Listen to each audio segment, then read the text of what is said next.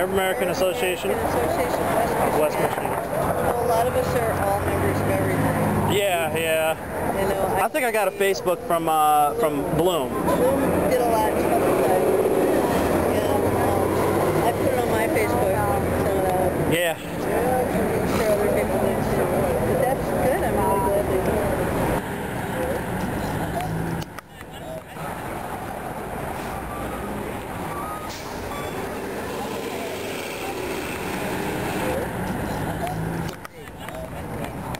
Terms of the consequences of oil drilling indigenous lands there.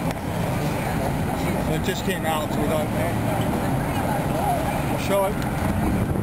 And start looking at it, and it was how to do the collage of book.